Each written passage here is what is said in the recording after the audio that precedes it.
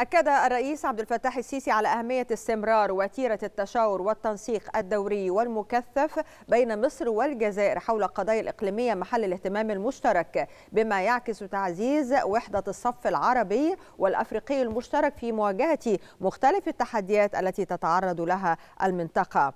وحسبما أكد المتحدث باسم رئاسة الجمهورية فقد أعرب الرئيس عبد الفتاح السيسي خلال جلسة المباحثات الثنائية مع الرئيس الجزائري عبد المجيد تبون عن التقدير والمودة التي تكنها مصر قيادة وشعبا للأواصر التاريخية الوثيقة. التي تجمع بين البلدين. ومن جانبه أكد الرئيس الجزائري أن زيارته الحالية إلى مصر تأتي استمرارا لمسيرة العلاقات المتميزة التي تربط البلدين موضحا تطلعه لأن تضيف هذه الزيارة زخما إلى الروابط المتينة والممتدة التي تجمع بين الدولتين على المستويين الرسمي والشعبي. هذا وقد ذكر المتحدث باسم رئاسة الجمهورية أن المباحثات تطرقت إلى سبل تعزيز العلاقات الثنائية بين البلدين على كافة الأصعدة. وذلك بالاستغلال الأمثل لجميع الفرص المتاحة لتعزيز التكامل والاستعداد لعقد الدورة المقبلة للجنة العليا المشتركة على مستوى رئيسي الوزراء بالبلدين في أقرب وقت.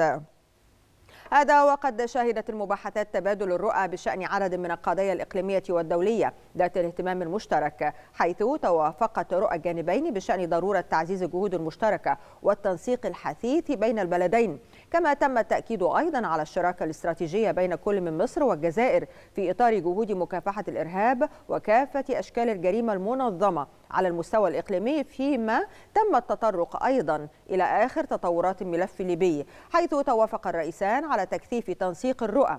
والمواقف إزاء آليات حل حالة الأزمة الليبية. كما تم أيضا التوافق حول أهمية التوصل إلى اتفاق قانوني عادل ومتوازن وملزم حول ملء وتشغيل السد بما يحقق مصالح الدول الثلاث ويحافظ على الاستقرار الإقليمي.